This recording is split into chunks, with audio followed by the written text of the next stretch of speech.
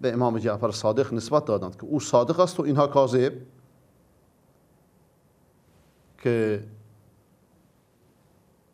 هر پرچمی که قبل از قیام قائم برافراشته بشه صاحبش تاغوته خب اگر چنینه به مدت هزار و اندی سال هزار و دویست سال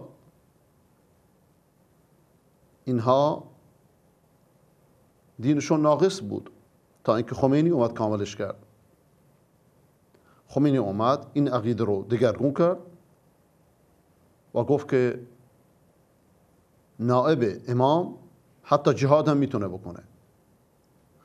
ولذا جنگشو با عراق با عراق مسلمان جهاد نامید.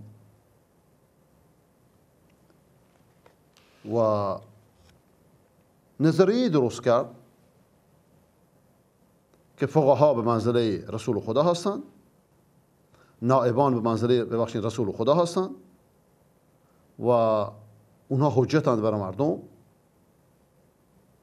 و هر کسی که طاعتشون نکنه از خدا و رسول طاعت نکرده. همچنان که در کتاب خودش حکوم الحکومه الاسلامیه صفحه 80 میگه 113 و جاهای متعدد. و با این کار سر همه فقها هم کلاه گذاشت. و